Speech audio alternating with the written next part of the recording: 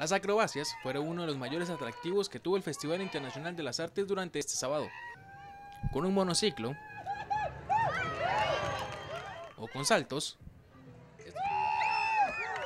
estos artistas retaron a los que estuvieron en la Plaza de la Cultura. Alrededor de 6, 7 años, 7 años yo voy a cumplir.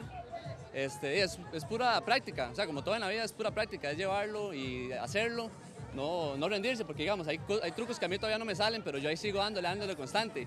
Lo que es saltar personas, este, ha sido algo complicado por el hecho de la seguridad y todo eso, pero es algo normal, o sea, normal en el sentido de, de no es algo imposible.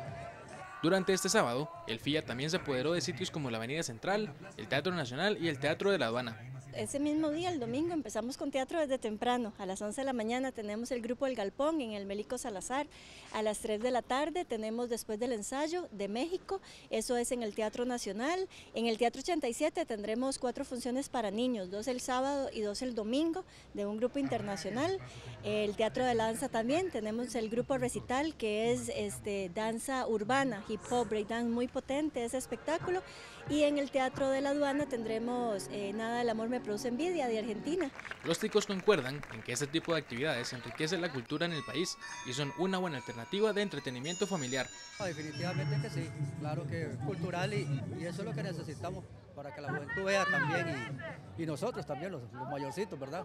Y nos gusta y nos encanta y eso es muy bonito para el pueblo y para los jóvenes y para los niños. Lo que es bonito es para los niños, para que así ellos se diviertan y vean algo diferente, por lo menos en fin de semana, algo diferente, no solo estar ahí metidos en la casa, sino venir y ver el montón de actividades porque sí está bien bonito.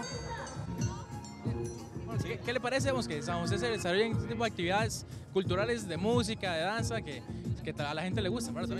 Es muy importante porque es para toda la familia, ¿verdad? Se puede venir a compartir y lo bueno es ver que hay mucho artista nacional e internacional y se pueden proyectar para nivel nacional e internacionalmente, ¿verdad? El festival inició el pasado 6 de abril y culminará este domingo.